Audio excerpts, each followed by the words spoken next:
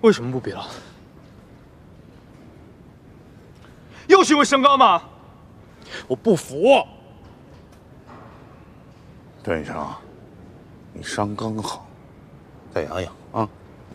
这根本就不公平！段医生，你在干嘛？没事没事。你可真积极。你说什么？你到底想让罗教练为难到什么程度？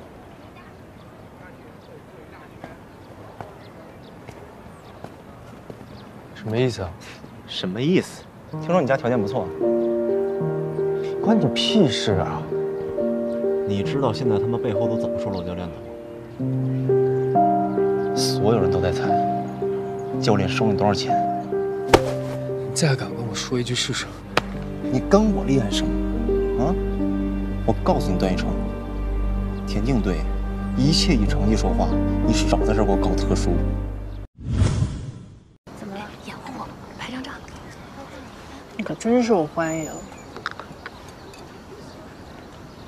受欢迎又怎么样？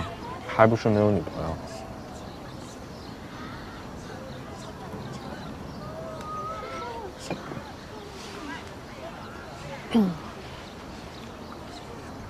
最好别谈恋爱。为什么？现在谈，多少会分心，训练、比赛都会受影响。你要珍惜在意这几年。你放心吧，教练，我会努力的，我会认真对待接下来的每一跳，努力做到最好。我去热身了。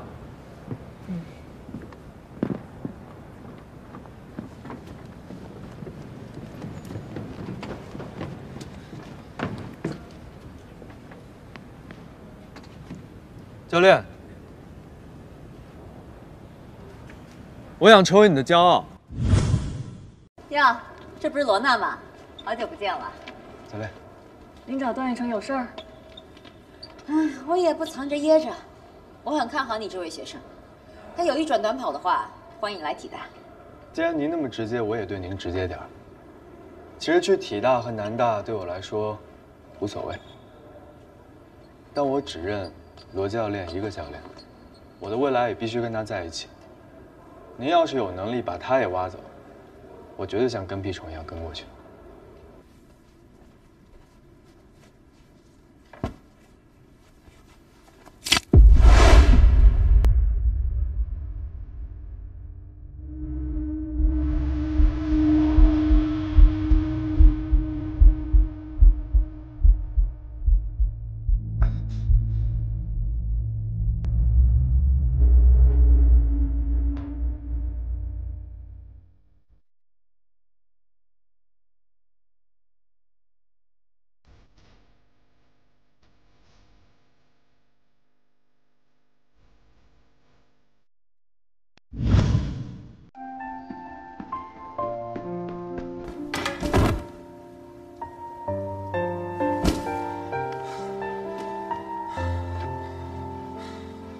罗娜，我早就告诉过你，段奕成在跳高上他是有短板的，他走不远。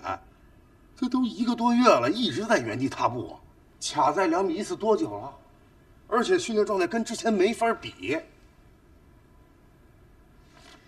我觉得每个运动员的周期都是不一样的，有可能这段时间就是他的疲惫期。他好好过个年，新学期肯定就不一样了。我不跟你争，必须转向，这是队里的意见。我就跟你直说了吧，我有个事儿要跟你聊。什么事儿？转校吗？你怎么知道？